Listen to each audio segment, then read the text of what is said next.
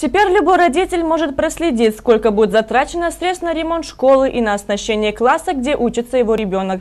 Для этого достаточно зайти на publicbudget.kz или на сайт открытого бюджета, где все образовательные школы области на данный момент делятся информацией о своем бюджете. Об этом сообщили в ходе совещания с участием заместителя Акима области Слушаш Курманбековой. В настоящее время в области насчитывается 657 средних учебных заведений. Из них только 47% – это около 300 школ опубликовали информацию о школьном бюджете. Среди них большую активность проявляют город Тарас и Курдайский район. В Жуалынском, Меркенском, Таласском и Рыскуловском районах большинство школ не спешат делиться информацией о своем бюджете. Об этом сообщило антикоррупционное агентство.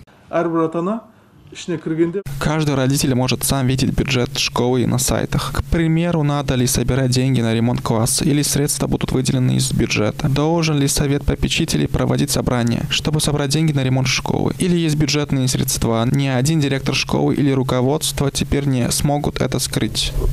Кроме того, в ходе совещания с участием заместителя Акима области были затронуты вопросы порядка подвоза детей в общеобразовательные школы, проживающих в отдаленных населенных пунктах, где школ нет. Но несмотря на то, что транспорт для перевозки школьников все же имеется, качество транспорта оставляет желать лучшего. К примеру, 11 автобусов в Рысковском районе на ходу аж с 80-х годов прошлого века. И, конечно, они не соответствуют техническим требованиям. По словам Акима района, проблема в том, что в данной сфере нет конкуренции. В тендере участвовало всего несколько человек, предлагающих транспорт для перевозки детей.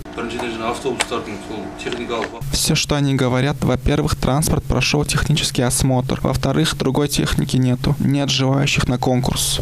Однако этот вопрос заместитель главы региона поручил решить до конца года. Кроме того, она отметила, что реализация программы с дипломом в село в населенных пунктах остается проблемой. По ее словам, все еще существует неопределенность в предоставлении жилья молодым специалистам. Есть факты, что компенсацию получают не специалисты, приехавшие из другого края, а местные жители села, работающие в детском саду или школе. И проблема дефицита специалистов все же не решена.